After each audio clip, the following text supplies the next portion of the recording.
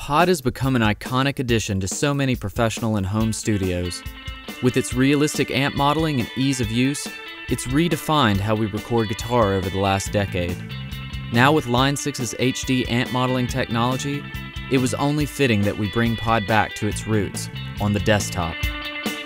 Pod HD Desktop Multi Effect includes 16 amp models that were painstakingly researched and modeled to create the most responsive playing experience ever for Pod.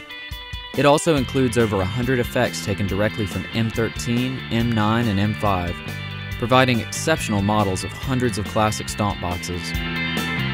With Pod HD, it's simple to get started recording guitar. Plug it up with the included adapter, and plug it into your computer with a USB cable. Plug your speaker monitors into the stereo balanced outputs, or use headphones if you prefer. Plug in your guitar, and power up. The new intuitive on screen controls let you route amps and effects just like you would in a real world scenario. You can even split the signal at any point for advanced routing or using two amps at once. Just reach out and dial in your sound.